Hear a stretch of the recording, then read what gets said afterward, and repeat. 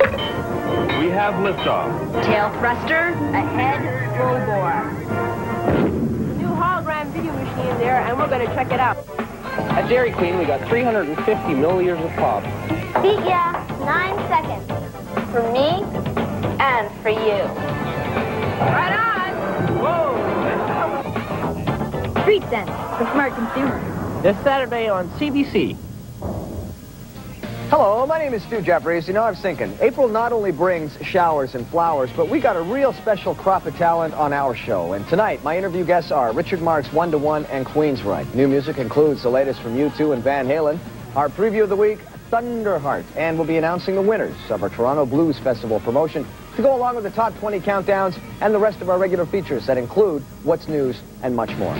See you here tonight for good rocking tonight. The eternal appeal of magic, the thrill of being fooled, from David Copperfield to Doug Henning to Harry Houdini, from the boardroom to the doctor's office, from a birthday party to the battlefield, the Wizards of Awe, tonight on the Journal. From France, the grand opening of Euro Disney, Sunday. The provincial budget, Monday, starting at 4.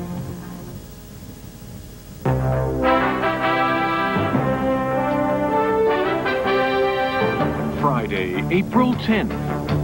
Tonight,